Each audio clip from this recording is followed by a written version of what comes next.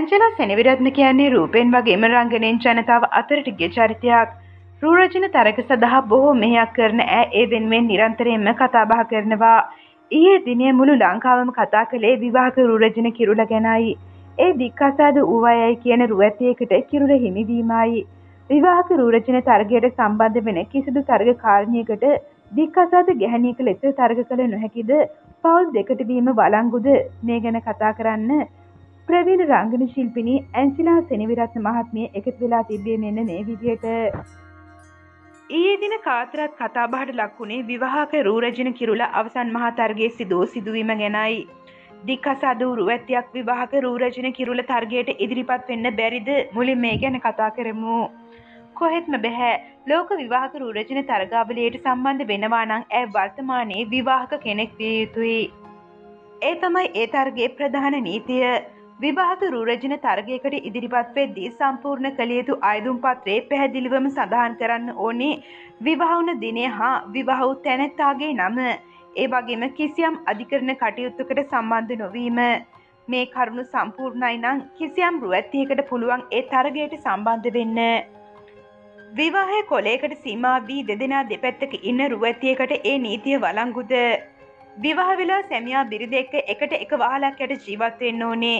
දෙතෙනෙක ඉන්න බැහැ විවාහ ජීවිතයේ සාර්ථකත්වයනේ එතන කතා කරන්නේ එනිසා සාර්ථක පවුල් ජීවිතයක් ගත කිරීම අනිවාර්යයි.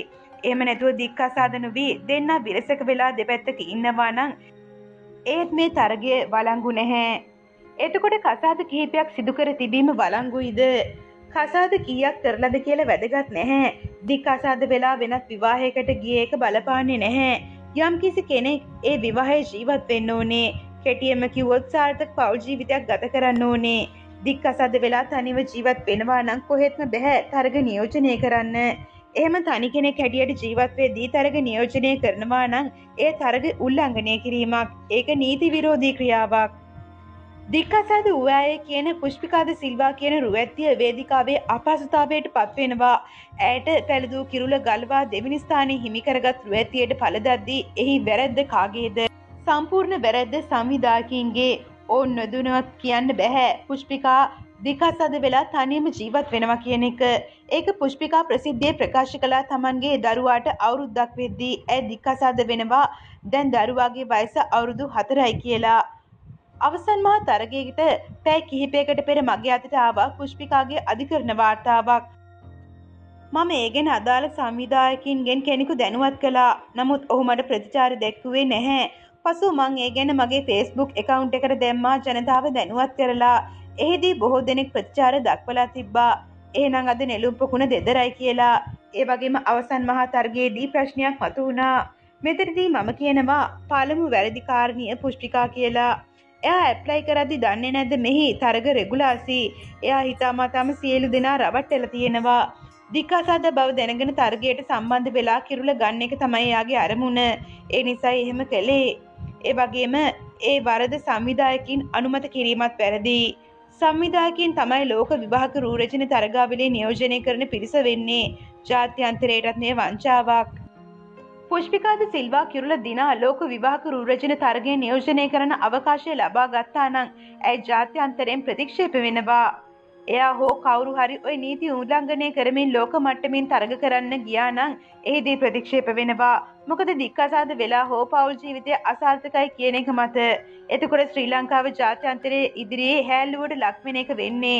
පුෂ්පිකා ප්‍රසිද්ධියම කිව්වනයා දික්කසාද කෙනෙක් සිංගල් පේරන්් කෙනෙක් කියලා.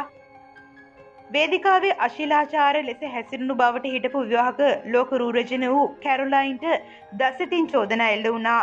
බොහෝ දෙනෙක් පැවසුවේ කිරුල ගලවා දෙමිනි ස්ථානය හිමිකරගත් රුවැත්තියට ලබා දෙන්න තියෙන අයිතිය මොකක්ද කියලායි. එයා වර්තමාන සංවිධායක දූරේ ඉන්න කෙනෙක්වීම එක සුදුසුකමක්. අනෙක් සුදුසුකම ඇය තාමත් ලංකාවේ ඉන්න ලෝක විවාහක රූරචන එනිසා ඇයට අයිතිය තියෙනවා සුදුසාටේ පැළදවීමට ලිකිතව තියෙනවා උපුටා ගැනීම අන්තර්ජාලයෙන්.